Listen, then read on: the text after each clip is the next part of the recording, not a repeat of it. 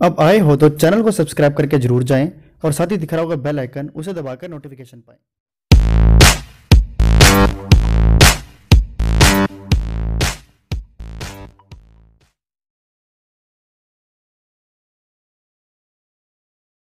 मेरे द्वारा आपको मैसेज दिया जा रहा है, जितने भी मेरे सब्सक्राइबर्स हैं।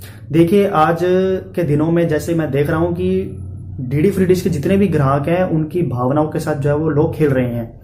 बहुत से यूट्यूबर्स को मैंने देखा है कि आपको झूठी वीडियोस तैयार करके दे रहे हैं, जिसमें बता रहे हैं कि जो हाल ही में हमारे लिए हटाए गए चैनल्स हैं, जैसे कि जी अनमोल जी अनमोल सिनेमा जितने भी चैनल्स हटाए गए थे, उन्हें आप वापस से देख पाएँगे, उन्हें वापस से देख सकते हैं। छोटी सी आपको सेटिंग करनी होगी, उससे वापस से चैनल आपके जो है वो जैसे कि प्लेस हो जाएँगे, वापस से आ जाएँगे।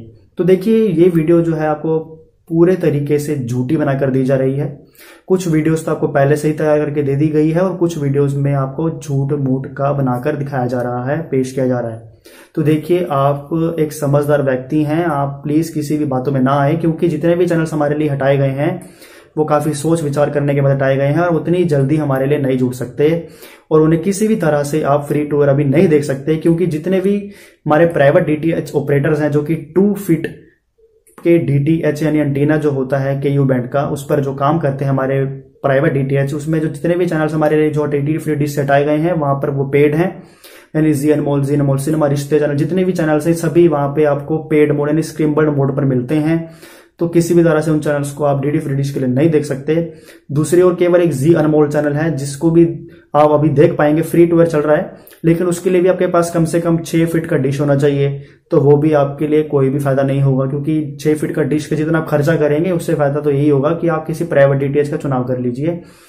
वो सबसे फ़ायदेमंद आपको रहने वाला है, क्योंकि वन फिफ्टी में आपको सभी चैनल देखने को मिल जाते हैं। तो मेरे लिए जो था आपके लिए मैसेज यही था कि आप किसी भी बातों में ना आए, क्योंकि ये जो है आपको गुमराह करने की कोशिश की जा रही है व्यूज़ और सब्सक्राइबर्स को पाने की कोशिश की जा रही है।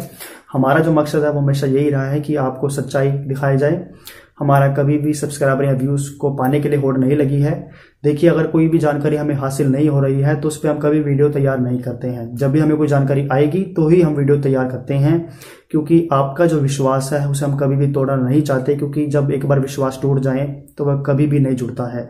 और मैं बाकियों से भी ये अपील करूँगा बाकी से भी दुखवास्त करूँगा कि आप भी कभी लोगों का विश्वास ना तोड़ें। इससे आपको कुछ भी हासिल नहीं होने वाला है।